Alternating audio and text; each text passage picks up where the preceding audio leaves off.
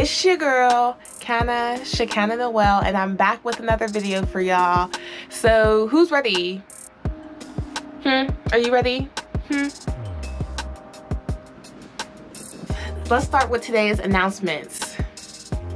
So, if you haven't already, make sure to please, please subscribe to my channel and make sure to like and comment on this video if you liked what I talked about or if you had some similar experiences let me know below also let's get into today's fit of course y'all already know it is thrifted so I got this Nike, like vintage Nike top from Avalon Exchange. And then I thrifted these pants. Can y'all see the details? I thrifted these from um, Thrift King, which is in Penn Hills. If you live in Pittsburgh, you know where that's at. I hope that you guys are enjoying all the vlogs that I'm putting out and the videos and informational stuff. If you love it, uh, Thank you so much. I'm glad that you do. And if you have any recommendations or something that you want me to talk about, let me know. Send me a direct message or whatever. I have two Instagrams. You can look me up and DM me if you want at Shekinah Noelle, S-H-E-K-I-N-A-H-N-O-E-L-L-E. If you like stuff pertaining to the travel videos, which today this video is about, you can look up glorious.travels. Yeah, get into it. Now that we're done with all of that, let's get into today's video, which is about driving in El Salvador. Oof. I had many, many, many experiences. Some good, some not so great, but overall still life-changing and definitely a lesson learned. So we're gonna talk about that today because I feel like a lot of people are starting to travel to El Salvador now, which is great. It's an amazing, beautiful, compact country. I love it. I'm obsessed with that place. I cannot wait to go back.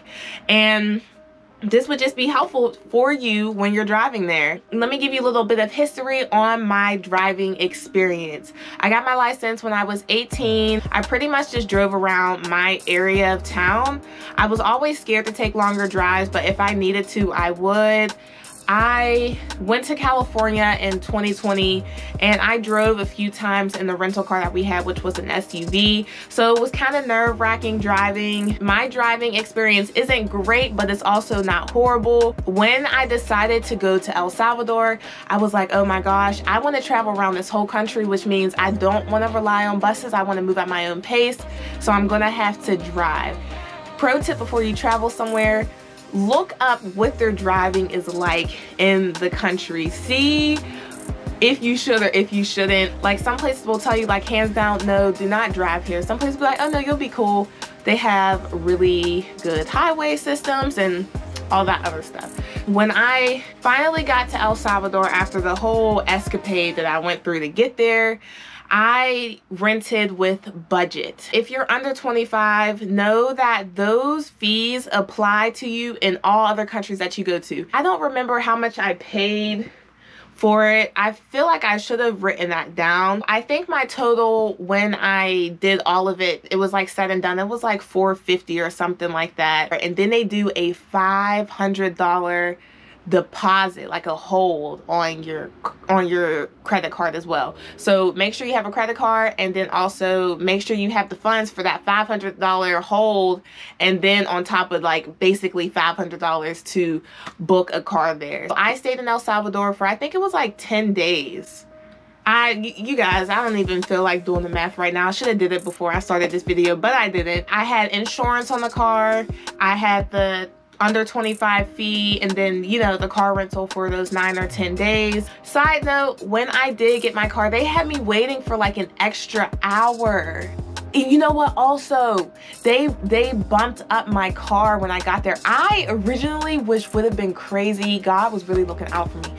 I originally only booked the compact car but because they had me waiting for an hour or more to get my car rental they were like we're just going to give you a sedan no, if you're gonna get a sedan, it's gonna be more than 450 for your car rental. Good thing I remembered that. My review on the road conditions overall, the roads weren't too bad in El Salvador. They had a lot of reconstructed highways. While I was there, they were reconstructing a lot of the roads and they had a lot of speed limit signs, cop stops, all types of things. It kind of made me feel comfortable. Not the whole cop thing because I would hate to get pulled over somewhere, but like knowing that the other people that were driving there that live there are not going too crazy on the road. It's like, okay, cool. Like they're making sure they're doing what they got to do.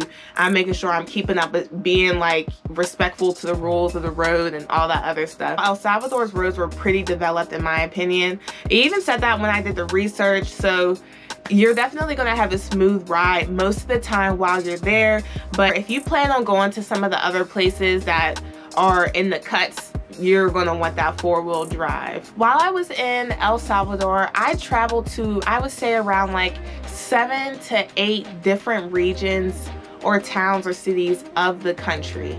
I'm to give you guys a breakdown of those different cities, towns, or whatever while I was there and let you know what I felt like the driving was like and the roads were like. Coming from the airport and heading to San Salvador, the roads were great to be honest. They were, it was honestly straight highway the entire time. There were very few roads that I took that weren't paved. So the other area that I was in while I was in El Salvador was Santa Ana and around there. I drove to stay at the igloos. They have like these cool igloo places that you can stay right in front of some of the volcanoes that they have in El Salvador. The drive up there wasn't bad at all. I had to drive two hours and like 15 minutes to get to these igloos and I had to do it pretty quick because the sun was going to be setting soon. Even driving up through the mountains, it was pretty amazing. Like the roads, the mountain was paved and there was a lot of room and it was very comfortable driving that I had on my way up to the igloo stay. It was just like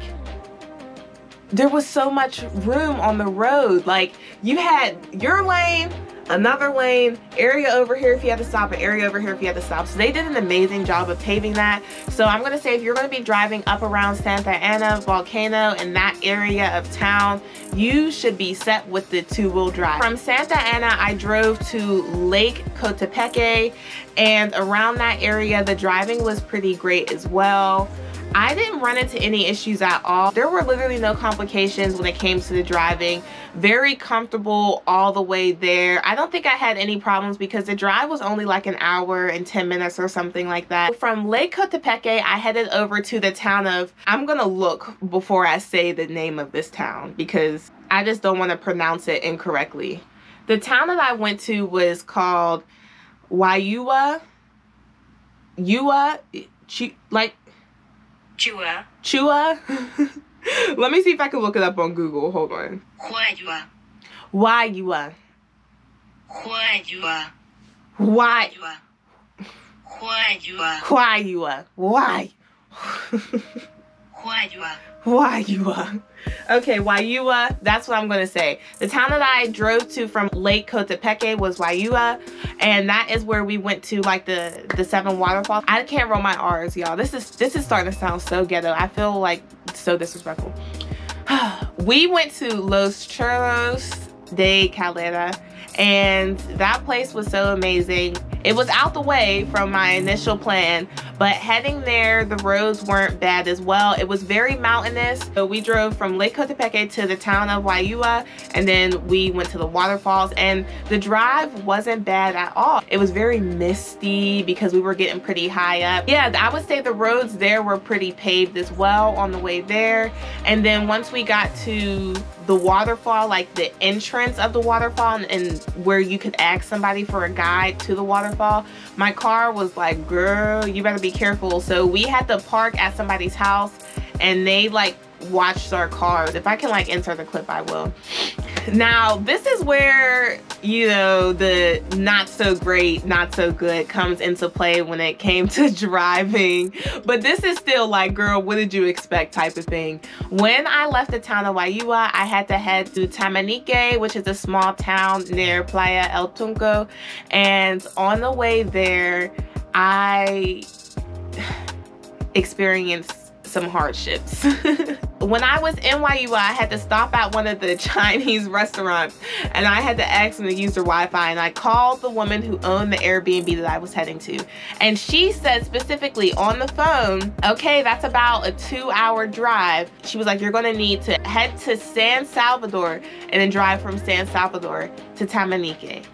And I was like, okay, great. But I don't think I fully paid attention or I didn't understand exactly why she told me that. I didn't at all. I just was like, oh, okay, bet. Like, great. I'm about, I was like, I wasn't rushing, but I was like, oh my gosh, thank you so much. Thanks for the tip. All right, I gotta go because I'm trying to head there and the sun's about to set and I'm not about to be caught outside in this dark, you know? So I get in the car and I'm heading there. And as I'm about an hour and a half in to this drive. I'm in this small part of town. I don't know exactly where it was at. It, like it was like Wayanita or Ayanita, something like that. Something that started with a J. And I was just like, oh, this is so cool. They had all these colors and they had this and I had Wi-Fi reception. I was able to post a story on Instagram real quick. I had to pull over and post a little story real quick, which is, that shows you where my priorities are. But I was able to also make a quick call because I didn't have any reception. And I realized once I got all the way to the top of this hill, my car directions, my GPS, Google Maps was telling me to drive straight. And I wish I would have taken a photo to show y'all what I was looking at to where I was like, hell no. It basically had a sign, it didn't, but in my head, what I saw was a sign that said, if you have two wheel drive, you're not gonna make it. I was like, well, I was like, oh yeah, this ain't happening. So I literally immediately started panicking and I was like, you know what? You don't have time to panic. You have to reroute. At some point during that trip, I stopped heading to San Salvador and was heading like a back road to Tamanique and I didn't really know how to get out of that. I was already like two hours and 15 minutes in. And I was like, I have to turn around and drive back through that town, which was really bumpy. And then I had to drive through these these back roads, seeing all these cows and people walking their cows and this and literally not knowing where I'm going. And then I had to drive back down this super windy mountain, the one that had the reception for a little bit. It rerouted again. And it was like an hour and 30 minutes. Okay, well, I guess I'm going to have to take this way to get here. Like this is, I was just like, Like this is literally what I got to do at this point.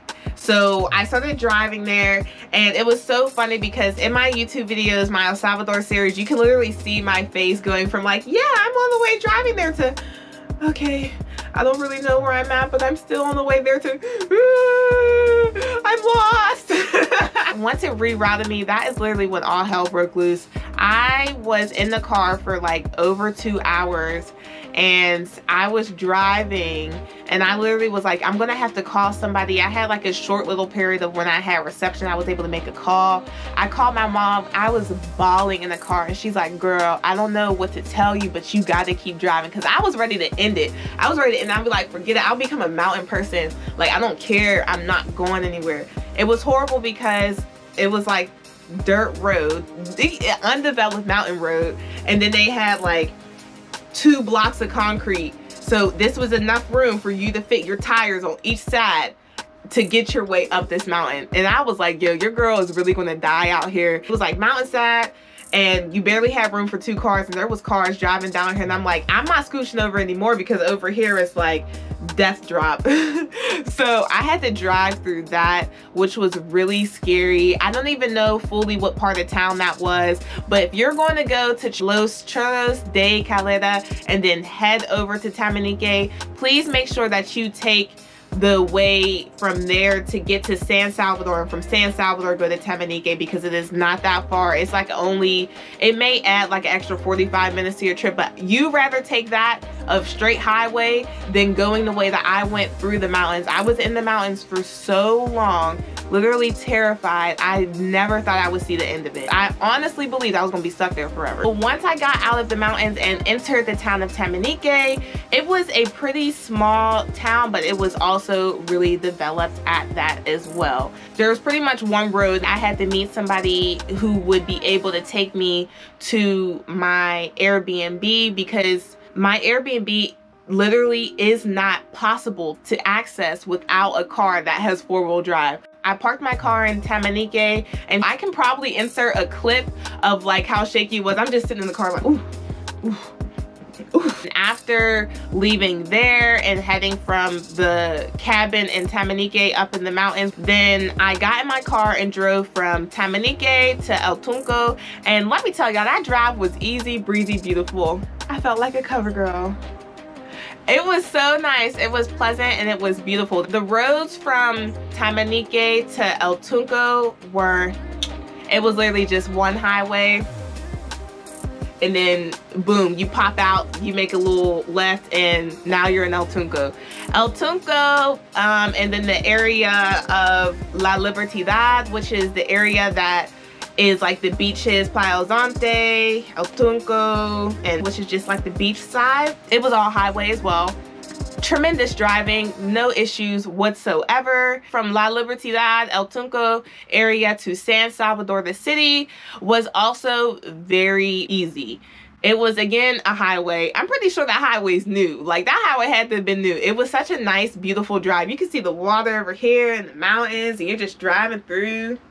I'm pretty sure it was an hour as well. And it was a pretty dope ride and simple. It was so simple to get there. Now, when I got into actual eh, San Salvador, like downtown near the mall and everything, oh no, I took an Uber. I was not driving. Those people down there were driving crazy. The driving to me was just like something that I wouldn't have been able to handle because you know they got the markets and they got the town square and there's all this stuff going on. There's a whole bunch of people. There's traffic. It was too much and I was like, thank God I did not drive down in this part of town because I would not have been able to handle it. I would have been like, goodness gracious. I drove through Santa Tecla and up to um, Picnic Steakhouse, the restaurant, to do the Imagine Slide, and that drive was pretty easy as well. From San Salvador, I drove to Suchitoto, which is like this cool, popular, like colorful, beautiful town, an hour and 30 minutes away from San Salvador, and that drive was just as easy. Altogether, driving in El Salvador, I would honestly, out of like 10 being like a good time, I would say it was like a solid seven like seven to eight for real. Other than the situation that I had that could have been prevented about me driving in the mountains and stuff like that, it really wasn't bad. It was pretty comfortable and I felt like, man, like I can really drive in other countries if I needed to. Like the ending of this video is really just me encouraging you to go to El Salvador and drive while you're there and check out all the places that you can in the country. The drives aren't that long, like four hours max if anything from place to place. So check it out and just love it. Like it's so cool. It's such an easy place to drive and navigate. And I would honestly say that the service isn't too bad. Just make sure that you have like some routes pre-saved and downloaded to your Google Maps. Best wishes to you guys. If you're watching this before you start heading to El Salvador, I'm glad that you were able to check this video out before you head there. And once you get back, let me know what you think about the driving. Make sure you subscribe to my channel. And I hope that you have a wonderful day. Again, my name is Shekinah Noelle, and I'll see y'all in the next vlog or video. Bye.